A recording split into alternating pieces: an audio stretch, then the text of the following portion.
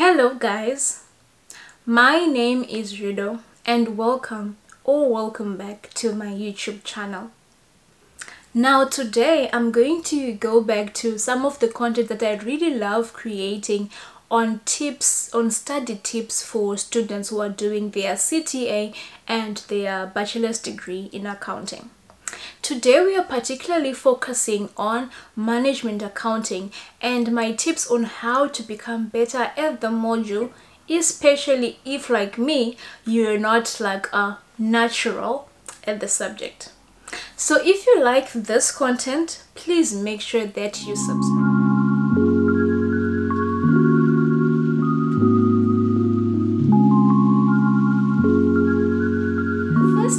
That I would like to share with you guys is when it comes to management accounting, you need to know your strengths and your weaknesses.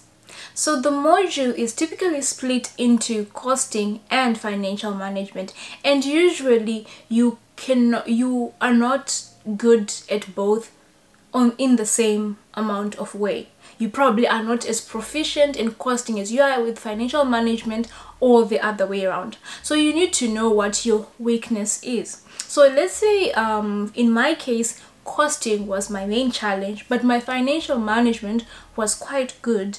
Then the first thing that you need to do is to maximize on the strength. So you know that you're going to you're going to get maybe it will be almost like a 50 50 or sometimes 60 40 depending on the paper.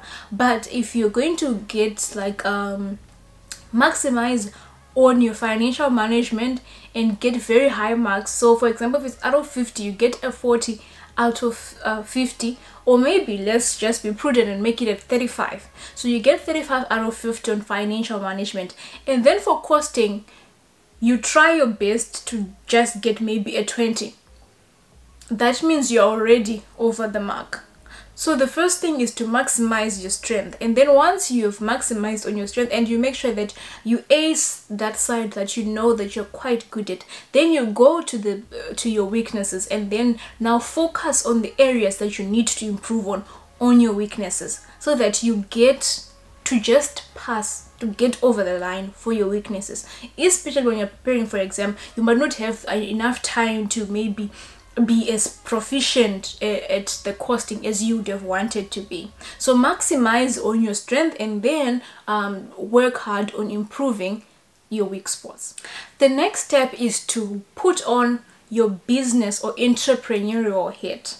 Now most people do not believe that accountants are good entrepreneurs mainly because we are risk averse so when you get yourself in a management accounting type of situation where you're supposed to make business decisions, it might be a bit challenging for you to actually then come up with, you know, uh, those type of qualitative uh, analysis and type of situations. So when you are going to be answering your management accounting questions, this is the time where you know you sort of like relax on your being a risk averse individual side and focus on being a business person. What would someone who wants to make money uh, who has got employees to think of and who wants to contribute something to the society as a company what would that manager do?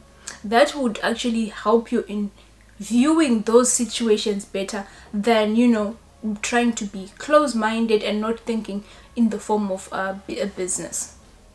My next tip is something that I've shared on advice for all modules across the board. And it would be to practice a lot of questions. Now for management and accounting, it is particularly important because most of us when we actually write the exams you might not be working in a particular industry. So you might not really know how maybe the aviation industry operates or the construction industry operates or even the bread making industry operates. But if you do a lot of questions in various industries it's going to expose you to you know the costing models of those industries the challenges of those industries how those industries are mainly financed uh, the inventory models of those industries. So if you're going to maybe then get that question in the exam it might actually be on a different topic altogether but in your mind because you already have a framework of how they make money, how they are financed, how the inventory system works. You are going to answer it better because you know what exactly you're talking about and you know that okay fine this is how the inventory works this is how the costing works and you get a better appreciation of um, the subject. So do like many questions in those board packs covering uh, various industries and maybe you can even have a list of the industries that you have actually covered.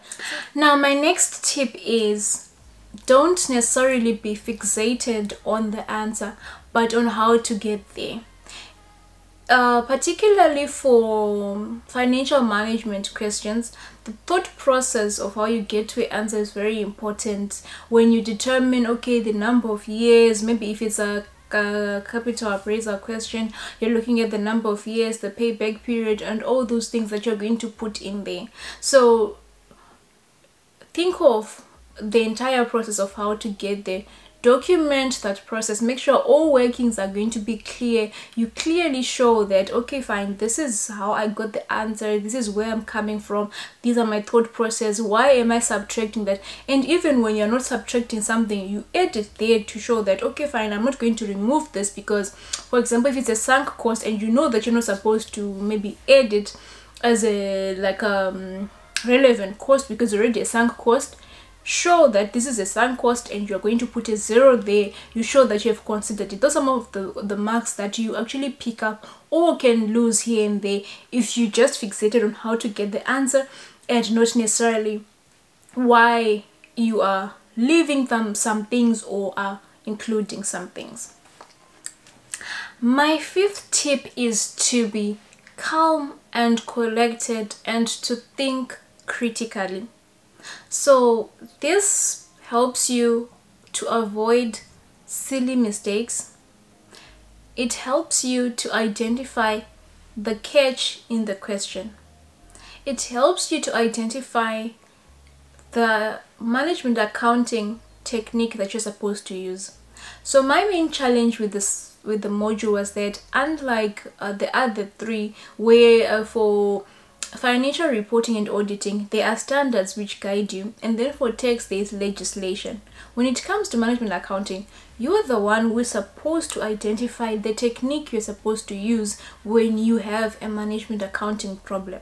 So if you are not calm and if you're not really thinking critically, you might even get it wrong from the onset where you just have to start with which technique am I going to use? Am I going to use relevant costing? Is it standard costing? What exactly am I supposed to use? If you're not calm, those are some of the things that you do not think of. If you're not calm, you're going to make silly mistakes. Maybe you're supposed to remove uh, uh, tax or something like that. And because you're rushing, because you think this is hard, you're not going to, you're going to make those um, silly mistakes. So please Let's be calm and collected and think critically. My final tip is do not forget how uh, management accounting is integrated with other modules and other subjects because this can help you in answering qualitative questions and this can also help you in those integrated uh, type of situations. So for example don't forget the tax implications of certain things. Do not forget the financial reporting implications. For example standard costing being accepted an accepted inventory uh, um, model think of you know the normal losses being included in the cost of something but then abnormal losses are going to be like an, an operating expense. Those are some of the things that you need to know and they should click off the bat when you're trying to answer or respond to a management accounting question. And to summarize the first tip is to know your strengths and your weaknesses so that you can maximize on your strengths and you can improve your weaknesses. The second one is to wear your business hat so that you can make a decision as a manager not as an auditor or a financial accountant. The third uh, tip is to practice a lot of questions on various industries so that you are more aware of uh, their business models and you are not going to be starting to understand in the exam but you're quite familiar with how the business works The fourth one is to not be fixated on the answer but on how to get there so that you can include everything that you worked how you worked on that answer in your exam script and get all those part marks. The fifth one is to uh, to be calm and collected and think critically so that you avoid silly mistakes. You can understand why all the information has been provided and you can apply the correct uh, management accounting technique to the question that you have been given. The sixth and final point is don't forget integration. That is how your tax fits in the picture and how your financial reporting fits into the picture and sometimes even how the auditing fits into the picture I'll surely be sharing more studying tips with you and if you want to continue seeing this please make sure that you click that subscribe button and uh, uh, hit the notification bell so that you are notified next when I come up with a new video. Until next time, thank you so much guys. Thank you. Keep on liking, keep on subscribing, keep on sharing.